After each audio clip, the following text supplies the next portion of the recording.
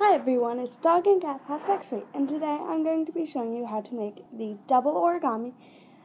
And this is Mike H.O. Loomer's original design, so shout out to him. And don't forget to do the challenge that I did for my Starburst tutorial with Jenna G, which is my last video. So please check out that. And without further ado, let's get into the double origami material list. So you will need a loom for this. I will be using a rainbow loom and instead of a like normal staggered position loom, you'll need it with all the pin bars aligned. You will need a hook. I will be using a metal tipped hook because of the tension, but you could also use a plastic tipped hook. You also need one C-clip you you can either use S clip or O clip. And lastly, bands. I will be showing you those next. The bands I will be using will be the Sweets Pack, Silver, Solar Moon, which changes in the sun, and Cotton Candy. So, let's get into the tutorial. Your arrows will be starting pointing away from you, and you take your first color and go. Down the loom.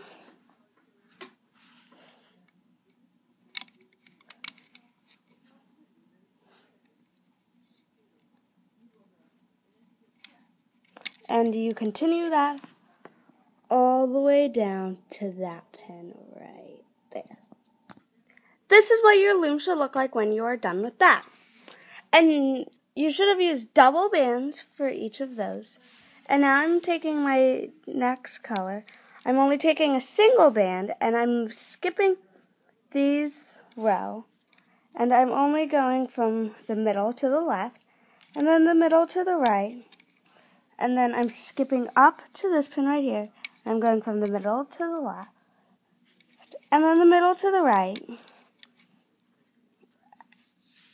And then I'm repeating that all the way down my limb. And you are not used putting the silver bands on these C pins. Instead, you're only putting them on those pins right there. So it's one, the second row of pin bars from the top of your loom. So this is another overview of what your loom should look like after you place the silver bands or whatever bands that you use. I could have used the cotton candy bands, but I decided not to. So I'm going to take my third color. I'm going to be using Solar Moon for this part. And you're going to stretch it from this pin to this pin. And then the middle to the right up there. And you have to stretch it a little farther since it's not in a staggered position. And then you continue this process all the way down on both sides and you stop where you did with the silver bands. So this is what your loom should look like. And then you're going to take two more of those same colors and do what you did at the very beginning. You just take them put them into the middle I did the left first and then I did the right.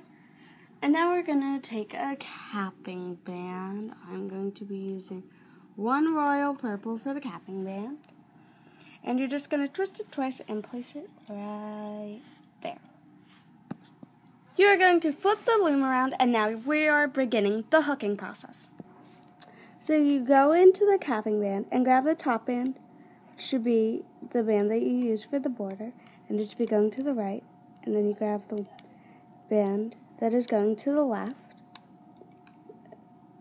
and then you continue grabbing those bands, and you are continuing down until right here. So this is what your loom should look like. And then you hook those bands going from there to there. there to there, and then there to there. And yeah.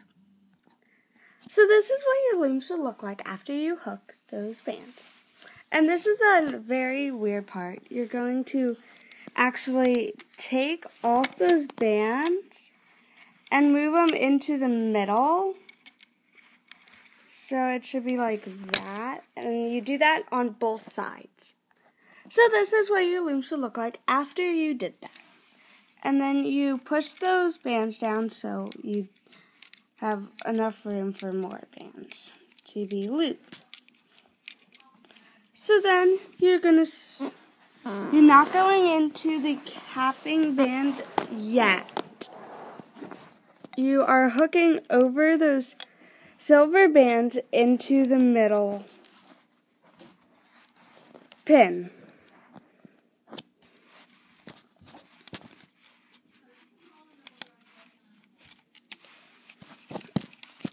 And you can, so it should look be looking like that.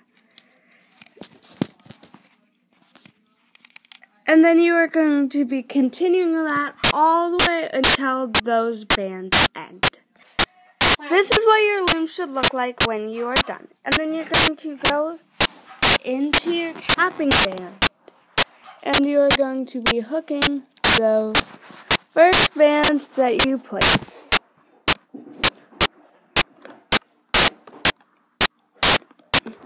So you will be hooking them forward and you might need to push down your bands in case they